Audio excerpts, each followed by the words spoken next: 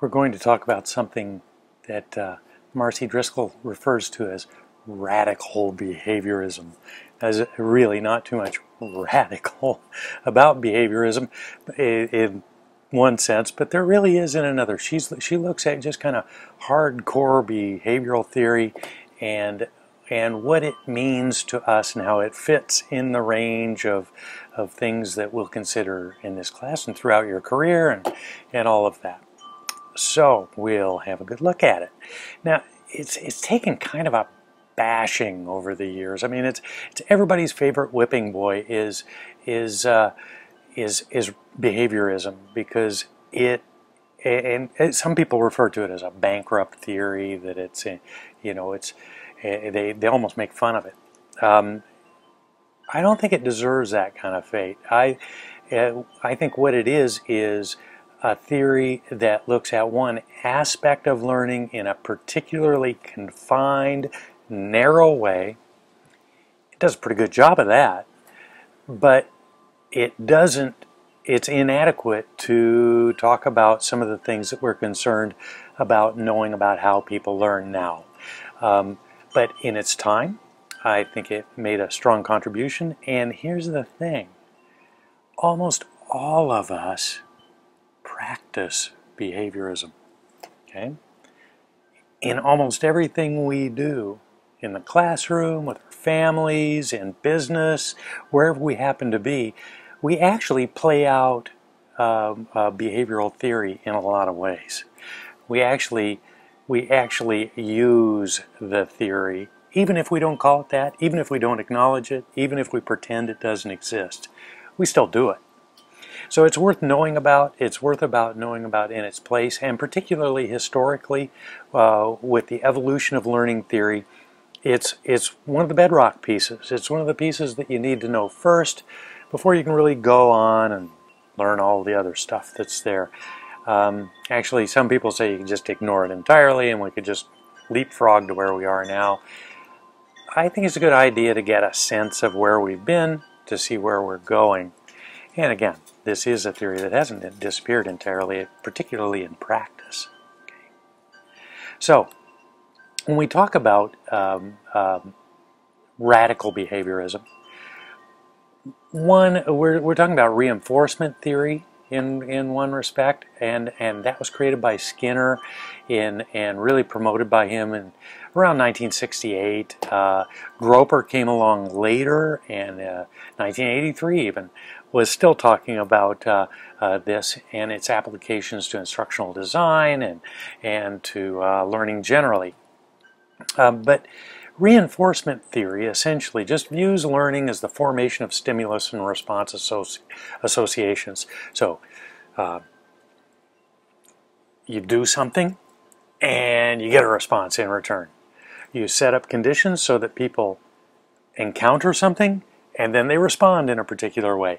That's reinforcement theory in a nutshell. Um, so what we usually see then is that things that follow that kind of a, a, a stimulus response kind of approach dictate learning paths that are really directed toward learning defined objectives. So you know what it is you want and measurable performance criteria so that you keep giving stimuli in particular ways and in particular um, in particular constructions and particular kinds of stimuli uh, that will lead people down a path to a designated place.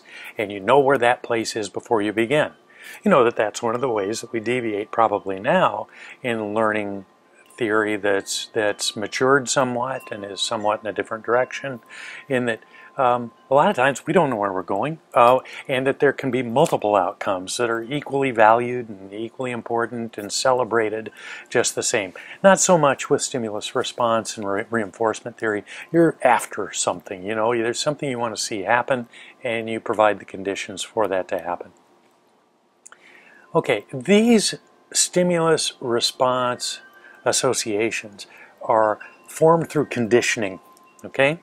And classical conditioning, in, in classical conditioning, you have a neutral stimulus, something that doesn't really have anything to do with the outcome, but it's presented contiguously in space and time with something that's known to produce a response, okay? Until that neutral response alone begins to elicit the response. So, um, uh, now, uh, I'll jump ahead. I'll give you an example in just a minute. But um, in operant conditioning, then, another kind of conditioning that to build those stimulus response bonds, um, a subject produces a particular response under prescribed conditions before rewards are provided. So you don't give any rewards. You don't let any, nothing good happens until somebody produce, produces a particular response. And then and then you reinforce that response and then you reward the response you do something that that says oh you just did the right thing and that response then is uh, built up over time and associated with those rewards okay so uh, let's look at classical conditioning um, uh, most famous is Pavlovian response um, uh, conditioning, and and that was Pavlov who had a dog and he presented it with a steak. And if you do that, I mean, there's already, this is classical conditioning, so it's known to produce a certain response. And in this case, it was salivation. Like a dog would salivate. No surprise there. But what Pavlov did was he took a neutral stimulus, okay, a bell, and he would ring it each time he presented a steak or a piece of food to the dog. And he repeated that several times. He'd ring the bell, present the steak. Present, ring the bell, present the steak. Okay? Then he removed the steak, and here's where the big trick came. He rang the bell. And after that association had been built between the steak and the bell, the neutral stimulus and the active stimulus in this case, then only the bell uh, was rung and it evoked the same response. The dog would salivate because he'd made that association. The bell was associated with it. Now, no surprise uh, that in opera uh, that, that, we use that kind of thing. That thing kind of thing comes up all the time. Okay, um, let me give you an example. Um, in your own classrooms, you have fire drills, right? and you want the kids to, to behave a particular way. Let's say that they line up the, the, the minute you hear a, uh, uh, a direct order that there's a fire, an indication that there's a fire, the kids know that they're supposed to line up at the door. Uh, one kid's supposed to close all the windows. One's going to, the, probably the teacher closes the door on the way out, all of that kind of thing, right? And they, they're to walk down the hallway in an orderly and quiet fashion and get outside and stand out there a good, you know, good distance away from the building. Now they, they know that, and they know to be told that. Like the teacher will stand up and say, it's a fire drill, line up over here, off you go. Well, you start pairing that with a neutral stimulus, a particular siren or a particular uh, set of bell uh, a set of bells that indicate that there could be a fire or a smoke alarm bell. Okay, uh, a smoke alarm bell, fire alarm bell goes off, and the teacher says, let's line up at the door, go out in an orderly fashion, you close the windows, you know, all of that kind of stuff happens several times, actually. And we do this repeatedly, don't we? So, teacher gives the condition, uh, the, the active stimulus, the bell is rung, which is a neutral stimulus, actually, becomes, kids are smart, they get it pretty quickly. They get it a lot faster than a dog gets salivating with a steak they know that when that bell rings, the teacher is going to say line up at the door. That is pairing those stimuli.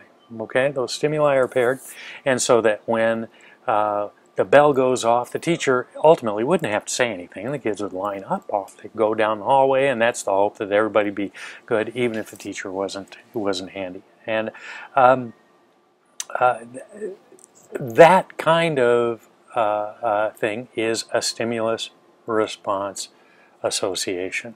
Okay, so when a stim stimulus reliably evokes a response, when you've got it down and it's working, it's said that the response is under stimulus control. Okay, but in for order for that to happen, whoever the, the kids or the dogs or the subjects have to first discriminate the controlling stimulus from the competing stimuli and generalize its relevant features to other contexts, right? So if they were in a different classroom or if they were in uh, the gymnasium or even if they were outside, they would ultimately, when they hear that bell, they would uh, generalize to other contexts and and move in that direction, do do the the proper response that you're hoping for. Okay. Prompt, there's prompting, cueing, and fading in in in uh, in radical behaviorism and, and in uh, reinforcement theory, and that's uh, used to establish the stimulus control. So prompts and cues act to support stimuli which explicitly direct learners to relevant aspects of a lesson. Okay, so prompts, cues. I'm going to prompt you this way. I'm going to cue you to do something. All of that uh, pretty easy, prompting, cueing. Fading happens when the stimulus that evokes the response is gradually removed or reduced so that the behavior continues with less reliance on reinforcement. So um, ultimately you want in some conditions that everything is removed. Like if you're prompting or cueing people to, let's say, come home, do your homework, right after school and you're reminded maybe you pair that with a neutral stimulus maybe it's a snack or something like that. You know you can have you can have three cookies and some lemonade if you do your homework right after you come home from school and you sit there and get it done yay. Um, and so you pair those up and then ultimately what you're hoping is is that you can remove some of those things and the proper behavior that that the, the habitual behavior that's been created will continue without stimulus. Okay? So, that happens in particular ways. Um, stimuli presented as a consequence of responses can act as reinforcers if they closely follow a response. So, um, uh, let's say, let's say you're walking your dog and your dog does a really nice job of something on the walk, uh, his heels as he goes and things like that. And you get back, and if you reinforce that right away as they're doing it, then that can reinforce the behavior. The dog knows it's doing the right thing. It reinforces the behavior. Same thing with kids. I mean, uh, you do things right away with them. You say, "Oh, nice job!" Pat on the back, or you know, some other kind of, uh, of reward and uh, then uh, they're more likely then to, to do the, the thing you want them to do in the first place, okay? Positive and negative reinforcement are, de are designated to increase desired responses. So you might do positive things, you might do negative things, but uh, or use negative reinforcement, but they're always designed to increase a, desi a desired response, okay? Not to kill a response, but to reinforce the response, increase the likelihood. And that's an important distinction we're going to come to in just a minute, a difference between negative reinforcement and punishment. Okay, so they, they shape appropriate behavior, always going in that direction. It can be positive, it can be a good thing. Um, uh, they can, let's say, uh, uh, of, you know, giving snacks to kids or giving them time on there that they can play games uh, or or uh, time that they can go outside and, and mess around in the backyard or take off with a friend, go go uh, on their bike somewhere. All those kinds of things are positive consequences. Happy to do it. I did my homework. I did it well. I did it when I was supposed to, and now I can take off and I get a positive reinforcement. But there are also times when you use negative reinforcement. And what that means is, is that there's something bad going on, okay? While, you know, there's something negative. And if you do the right thing, that negative thing, that bad thing stops, okay? So all of a sudden, you know, so it's taking away something, okay? It's removing, uh, negative reinforcement means reinf uh, uh, reinforcing by removing or taking away something negative, okay? And that does the positive thing. Now let's let's take an example. You'll say, I'd never do that. I'd never do that at all. Yeah, you would. We've all done these kinds of things, but um, uh, let's just say uh, an example is a timeout. Okay, let's say that you use timeout, so kid's just having trouble controlling himself. You know that uh, uh, the whole idea here is that you're not going to reinforce that with something positive. He's not doing what you want. You want you want the kid to settle down or or behave in a particular way. Um, so what you do is you remove them and you give them a timeout somewhere. And you say, okay, go over here and just let's have a timeout. Let's just go over here and you be on your own for a while. And you stay on your own until you're ready to, let's say, rejoin the group and and behave be behave better than you are now. Okay, so that's a negative thing removed from the group. It's a social punishment in a sense, but it's not really a punishment. What is it? It's just an environmental thing that isn't happy. It's not a good thing. It's, it's you know, and and they'd prefer to be with with the group. So they stay over there until they're ready to come back. Okay, and they come back, and you say, okay, re, re, you can rejoin the group. You seem to be okay now. So the removal of that negative reinforcement. Um, is a result in something positive, them behaving the way you want them to, and their their ability then to rejoin the group then becomes a positive reinforcement, doesn't it? So you can have positive and negative reinforcements all mixed up in things that that happen with you. Now these aren't really the kinds of things we do a whole lot as teachers now, but um, they're they are things that still exist in our environment, don't they? And I mean, I think if you if you think about the Premack principle, if you look after reading Driscoll, okay, that'll be a little thing for you. Read Driscoll. Uh, think about Premack. Uh, we all do things and we employ uh, uh Um, uh, reinforcement theory quite a bit. So, Reinforcement can be of a lot of different types. It can be continuous all the time. I mean, every time somebody does the thing you want them to do, you can reinforce it. Or it can be intermittent. Every now and then, you can do it. Okay? You can do it not every time, but every so often.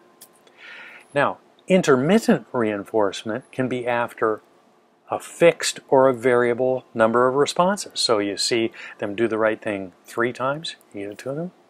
Uh, then it's six times you give it to them, and then the next time you give it to them, and it's just like uh, uh, mixing up things uh, uh, that you might do for other reasons. You do it to keep people a little off balance. They don't know when they're going to be reinforced. you know, it could be three times, could be six. With negative reinforcement, it could be you have to be in timeout as long as I tell you for three minutes and six minutes, or it can be as long as you feel that you need it and when you're ready to come back and join us. So it can be intermittent. Eh, we don't know how many times. We don't know when it's coming necessarily, or the receiver doesn't. And so it has that effect of keeping them a little off balance, but they still know they're going to be reinforced for it, or they'll keep trying. Now, the other one is a fixed schedule. So that might be like every three times I see the behavior I want, I'll reinforce it every five times. I'll reinforce it. Well, um, that can work too, okay? A fixed or a variable uh, uh, and, and a, a, a fixed or variable schedule, okay?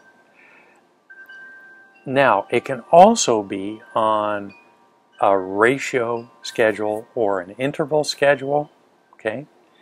Um, and that is over time, okay?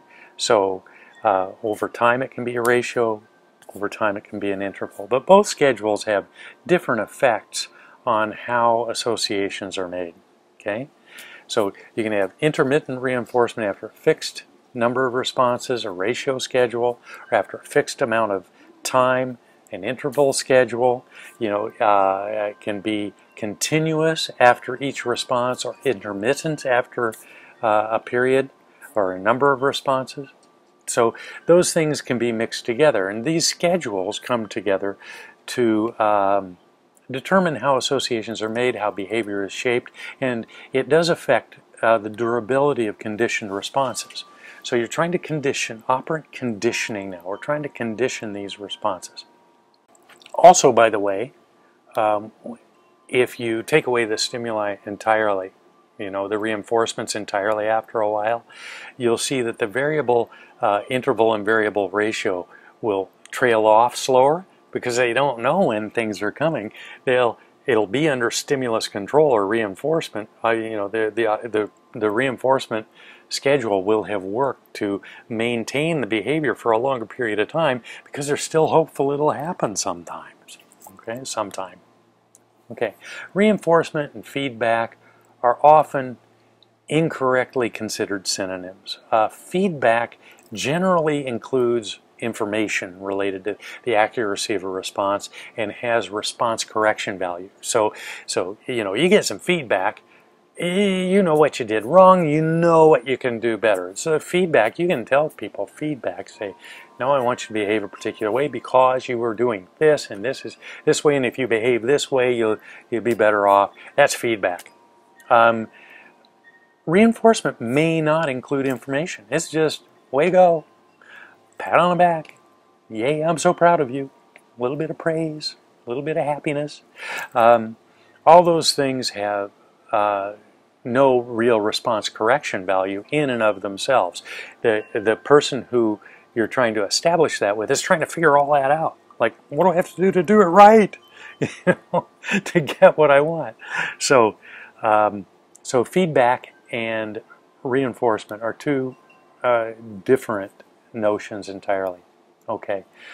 Um, individual stimulus response associations can be linked together to produce networks of stimulus response chains. Like you can teach somebody one small part of something, teach them another small part of something, and then you can reinforce each of those, you know, separately, but then you can start chaining those and they'll link together rather nicely.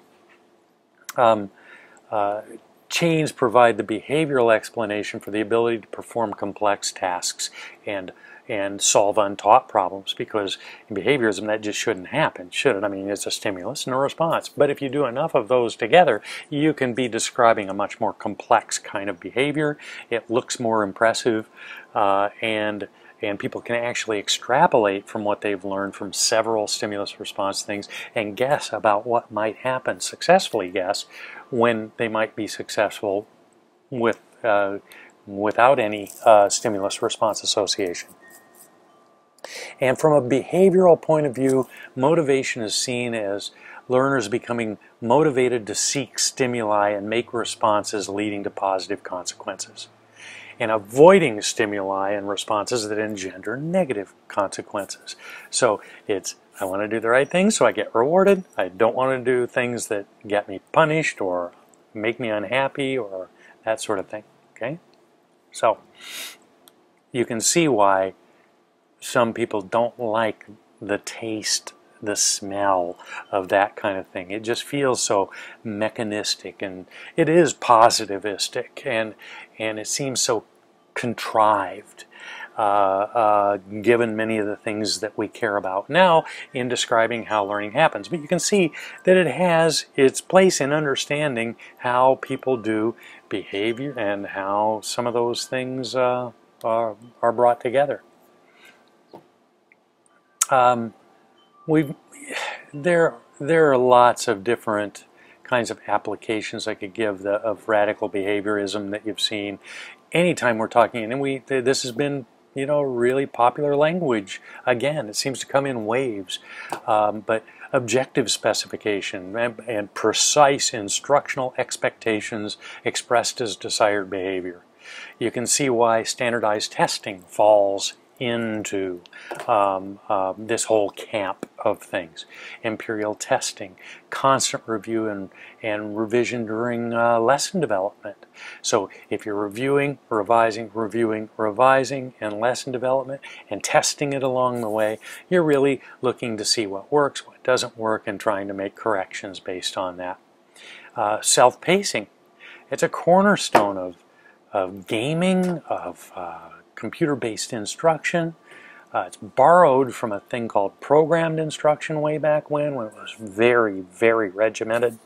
But uh, uh, self-pacing is something that we see that's really been an outcome or an application of radical behaviorism.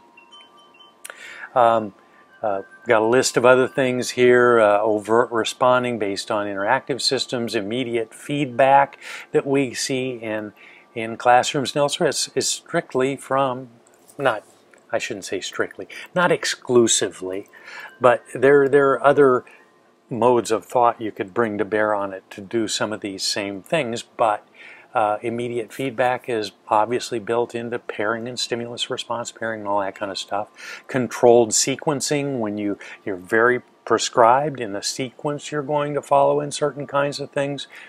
Certainly that's an example of behaviorism in action. And then anytime we build things in small chunks and step size, and if you say, okay, I'm going to build this lesson in chunks and deal with it, and then we'll stick those together, well, it sounds a whole lot like stimulus response chaining, doesn't it? Okay. Um, low error rates and paying attention to that. Prompting, screen cues, contextual cues in menus that we see, in websites, in databases, uh, uh, in the kinds of prompting that you see in gaming. Um, uh, it's really quite remarkable how heavily that's used and how much gaming borrows from behavioral theory to reinforce the behaviors they want, which is you to stay active in the game.